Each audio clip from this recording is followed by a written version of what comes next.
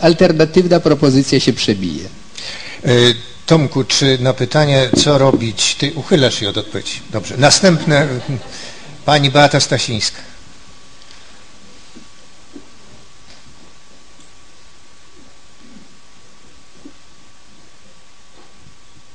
Państwo, drodzy autorzy, e, my się spotykamy dzisiaj w szczególny dzień, bo 5 e, kwietnia dzisiaj mija setna rocznica śmierci Stanisława Brzozowskiego, który to, e, jak wiemy, był, marksizował bardzo dzielnie, a zmarł jako katolik. Y, samotny, co prawda, i zapomniany. Ten jego model katolicyzmu właściwie nie został nigdy y, y, przyjęty, przepracowany. I, I dzisiaj właściwie, jak tak sobie porównuję te odwrotne drogi panów i Stanisława Brzozowskiego, ale wspólne w tym namyśle krytycznym, mm, to ja sobie zadaję takie pytanie, co znaczy wasze credo? Czy nie jest tak, jak, że w momencie, kiedy, że, że jest y, cały czas takie silne napięcie, w momencie, kiedy mówię wierzę, to, y, to zawieszam wówczas tę zdolność krytyczną albo tworzę nieustanne napięcie kwestionowania tego, w co wierzę, y, to, o czym to, tworzę taki właściwie paradoks wiary, o którym, o, o którym pan Stanisław mówił.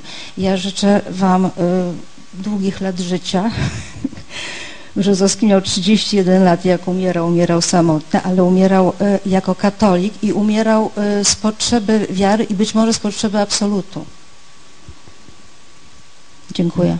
Proszę bardzo, kto następny? Ja może króciutko się tylko A, do tego odniosę, bo bardzo Brzozowski jest mi bliski i dodałbym tylko jeszcze, że umarł poza Polską. We Florencji, więc to jest też ważne, że jednak e, był w Polsce no i miał za wzór e, Newmana, e, John Henry Newman, który był kwiatem katolicyzmu angielskiego i miał się do czego odnieść. My mamy inne wzory, z którymi się trudniej identyfikować. Może ja jeszcze dwa słowa co do tych wzorów innego katolicyzmu. Właśnie przeczytałem książkę Historia filozofii polskiej pisze recenzję i tam modele innego katolicyzmu e, pojawiły się na, na Uniwersytecie e, Jagiellońskim w XV wieku, bardzo atrakcyjny konciliaryzm.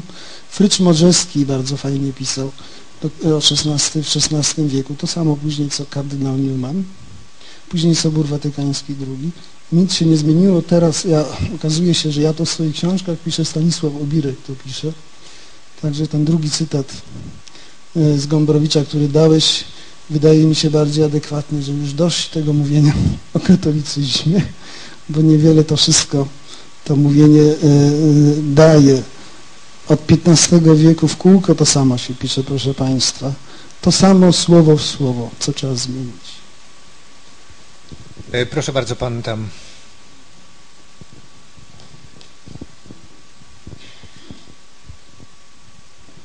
Roman Batko. Staszko, ja mam pytanie takie do Ciebie. Właściwie powiedziałeś o tej elitarności już przed momentem. Ja czytając książkę miałem taką wątpliwość, ponieważ przywołujesz w pewnym momencie takie dowody na daleko posuniętą sekularyzację, wspominając o Czechach, wspominając o Francji, ale dla mnie ważniejsze było to, co powiedziałeś o swoich studentach łódzkich, że coraz trudniej zainteresować ich w ogóle myśleniem religijnym, nie katolickim, czy jakimkolwiek związanym z instytucją, czy pewną jakąś odmianą religii, tylko w ogóle myśleniem religijnym. Czy to nie jest tak, że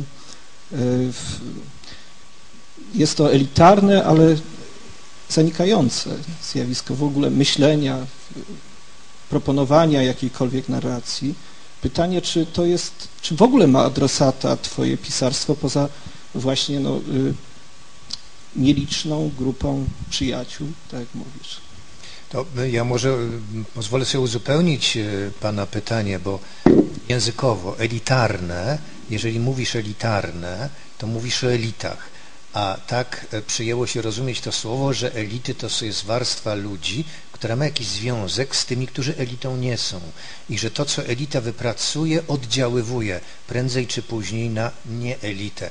Natomiast Pan daje do zrozumienia, że właściwie to, co Ty czy Wy proponujecie, to nie jest elitarne, ale niszowe. Zamknięte, hermetyczne. Dziękuję Ci za, tych, za tę wzmiankę o studentach, bo dla mnie to jest rzeczywiście e, ciekawy papierek lakmusowy, bo są to e, ludzie wykształceni już, e, że tak powiem, w nowych realiach, to znaczy po kilkunastu latach albo no, wielu latach intensywnej katechezy i obserwuję rosnącą niechęć do indoktrynacji i dlaczego, y, to zwłaszcza na pierwszych zajęciach zwykle obserwuję, y, bo trochę jestem panem od religii na politologii, bo zawsze są to jakieś religia globalizacja, religia polityka, no więc ten opór łączy się właśnie z tym, że religia kojarzy się z katechezą. To, o czym Tadziu mówił, że, że katechizm jest właśnie taką, takim przekazem jedno, jednokierunkowym.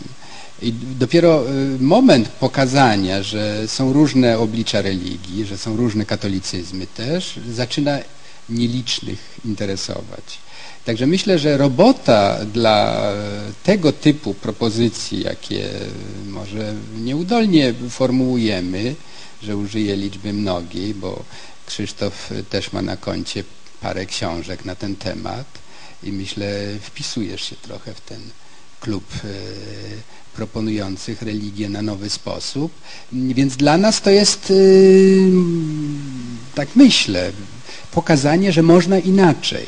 I dlatego w Polsce jest tak trudno, bo Polska jest, y, użyję mocnego słowa, y, zatruta przekazem niezwykle prymitywnym, bo to nawet nie jest katechizm, bo katechizm przejęty zresztą od protestantów był jednak czystym przekazem prawdy, wiary, jak ją rozumiano. Dzisiaj mamy do czynienia z, raczej z hagiografią, a nie z katechizmem, to znaczy są to żywoty świętych,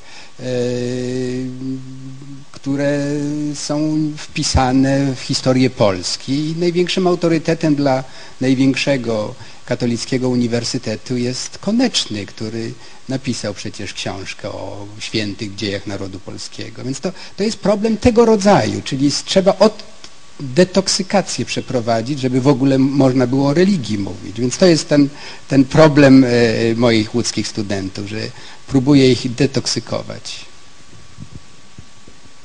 Proszę bardzo, kto z Państwa jeszcze chciał